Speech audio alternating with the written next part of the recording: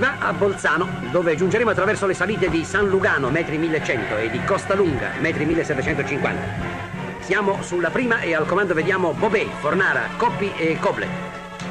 Sulla salita di Costa Lunga giungerà primo Bartali, ma nella discesa Scapicollo forerà e foreranno anche Bobé, Magni e Fornara.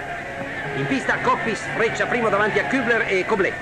Ottavo sarà Magni che riprenderà la maglia rosa. Ora si va in Svizzera, dove troveremo nei 2150 metri del passo del forno la maggiore difficoltà del giro. Fiorenzo Magni, il terzo uomo, la supererà senza perdere tempo prezioso, assicurandosi così la vittoria finale. Decisivo sarà l'aiuto di Bartali, come documenterà il film che la Incom ha girato in collaborazione con la Gazzetta dello Sport. Sulla vetta Fausto sarà primo con mezzo minuto su Kübler, Bobé e Koblet. E adesso, a 20 km dal traguardo, Koblet, fiutando aria di casa, ha piantato tutti per arrivare solo a St. Moritz.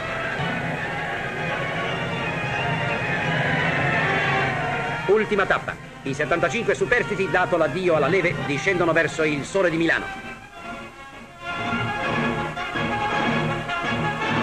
Tappa dell'apoteosi per Fiorenzo, il terzo uomo, ormai inattaccabile vincitore assoluto. Chilometri di applausi per lui e per tutti.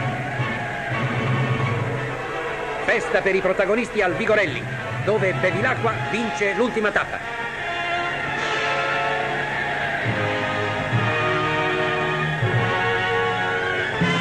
Quando nel 48 iscrisse per la prima volta il suo nome nell'albo d'oro dei vincitori del Giro, Magni trovò al Vigorelli più fischi che applausi.